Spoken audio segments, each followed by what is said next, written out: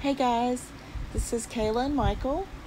Um, officially letting all my friends and family on YouTube know that Michael does have multiple sclerosis. And we went to Duke Medical Center in Durham and found out Friday. So stay continued and we'll keep you updated on his progress. We love you guys. Don't worry, he's in wonderful spirits.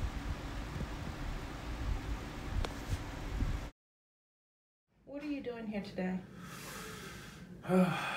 Waiting to see the doctor here at Duke University Medical Center uh, because they're smarter than the doctors. at I